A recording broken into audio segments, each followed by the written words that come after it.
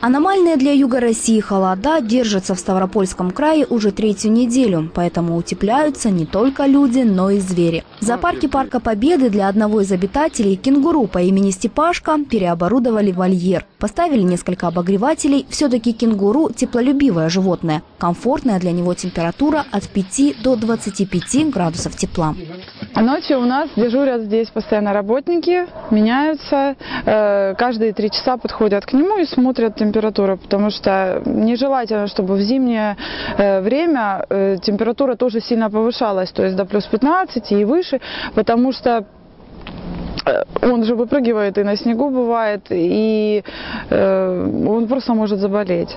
Днем температура в Ставрополе минус 15, а ночью столбики термометров опускаются до 22 градусов мороза. И это при том, что обычная температура для Ставропольского края в январе всего минус 5. Обитатели этого необычного зоосада неплохо переносят морозы. Животных кормят больше, чем летом, а зимуют они в утепленных домиках. Но в этом году сотрудники зоопарка забеспокоились. Не все животные привычны к таким холодам. Однако за Степашку переживать не приходится. Он быстро привык к русской зиме. Ему очень нравится снег. Он прыгает и ла- лапки моет в нем, и мордочкой э, трется, да, в снег. Ну, вот как вот любой собаке. Не только животных пришлось спасать от аномальных холодов в Ставропольском парке Победы. Для пальмы, которая растет на главной аллее, соорудили персональный домик.